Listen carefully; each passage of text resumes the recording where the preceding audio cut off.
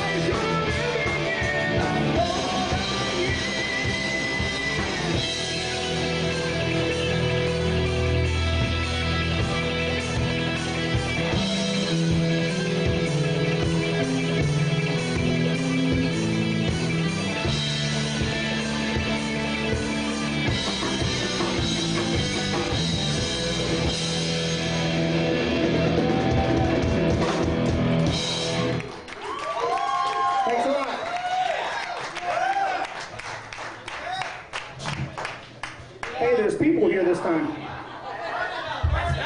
That's a little different from last time.